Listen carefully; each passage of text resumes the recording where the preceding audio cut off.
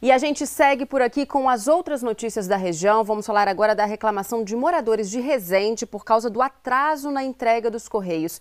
Teve uma greve dos funcionários que já acabou, a gente mostrou aqui na RJ, mas o problema é que a entrega de correspondência e mercadorias ainda está acumulada e muitas pessoas estão tendo prejuízos com essa demora. Vamos ver na reportagem. Várias são as reclamações e poucas são as respostas. Dá licença. Acho que ele poderia pelo menos atender, né? Porque a gente mora longe, eu não moro aqui. Entendeu? Não dá para ficar vindo aqui a hora que. Tudo bem, eu entendo que ele está com problema, pouca gente, mas uma informação é absurdo, né?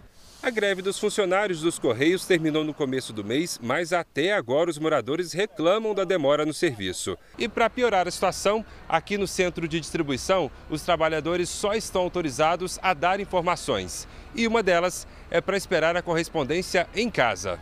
Hoje pela manhã, várias pessoas foram atrás de respostas e a informação é sempre a mesma. A demora acontece por conta da falta de pessoal e excesso de encomendas.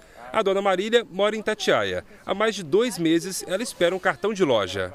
Eu vim aqui o mês retrasado, me deram só duas cartas. O resto dos cartão, das coisas, correspondência que a gente tem, não chega nada de jeito nenhum. Aí quer dizer, agora vim de novo aqui atrás para ver se, se esses cartão chegou. O seu Francisco vem em busca de respostas também sobre um cartão. Ele depende da entrega dos correios para receber a aposentadoria. Vai inteirar hoje quatro dias que eu venho vindo, através do meu advogado que ele mandou saber.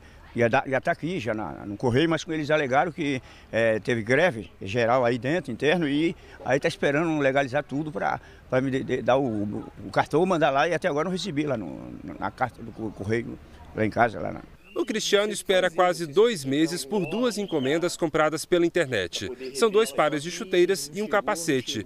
O que era para ser uma facilidade de receber o produto em casa virou um baita problema. Já fui no correio três vezes, eles informam que ainda não chegou lá e para aguardar e não me dá nenhuma outra posição. O objeto está sendo encaminhado desde o dia 25 do 6, os dois. 25 do 6 sendo encaminhado pra, do Rio para Resende e não chega nem na minha casa, não chega ali na estação de tratamento deles, não sei o que está acontecendo. Os Correios informaram que já foi dado início à operação de escoamento da carga que ficou acumulada no centro de distribuição de Resende. A unidade disse que disponibilizou veículos para reforçar o quadro efetivo, além da realização de mutirões aos finais de semana. A expectativa é que em duas semanas a entrega das correspondências esteja normalizada.